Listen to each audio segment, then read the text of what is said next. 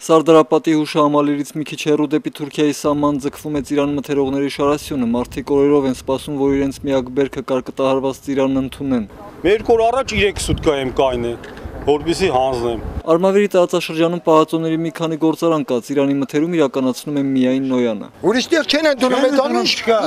Ուր գնա։ Այս գործարանի հնարավորություններն էլ անսահման չեն, գյուղացիներին խորհուրդ են տալիս փչացող բերքը տանել հանձնել Արարատի մարզի պահածոների գործարաններին։ Ասմակտար արա թափի արացին է դեստե թափի։ Արարատցի Ալբերտ Սարգսյանը 100 կիլոմետր ճանապարհ է անցել, գալուց առաջ փորձել է բերքն իրացնել Արտաշատի պահածոների գործարանում։ չեն ընդունում։ Գործարանի մերձակա տարածքում արևիտակ բերքը դառնում է ջուր։ Շենավանցի այս երիտասարդի տպավորությամբ իշխանությունն ուզում է ժողովրդին ջարդել, Շենավանում ավելանում է մի կտոր հացի կարոտ մարդկանց թիվը, ամռանը նրանք դեռ կդիմանան։ Լեկանի նոյեմբեր-դեկտեմբերին ժողովուրդը պիտի սովից էլ մակ ունենան։ Այս մարդը Սարդարապատ հուշահամալիրին մերձ գյուղից է, վերջին տարիներին հաճախ է իր գյուղում հյուրընկալել Սերժ Սարգսյանին, այսօր նա մտածում է ապահով Հայաստանից հեռանալու մասին։ Եկո կարունը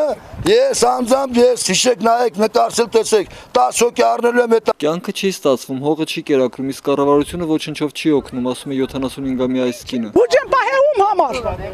Ում համար Բուջե։ Գործարանի մոտ հավաքված բոլոր գյուղացիներն ունեն վարկային պարտավորություններ։ Շենավանցի Պավլիկ Հովանիսյանը վարկային 1 միլիոն դրամ է ծախսել 2 հեկտար հողի վրա։ Եթե վերադարձրել 100.000-ը, մտածում է թե ինչպես վերադարձնի մնացած 900.000 դրամը։ Եթե կա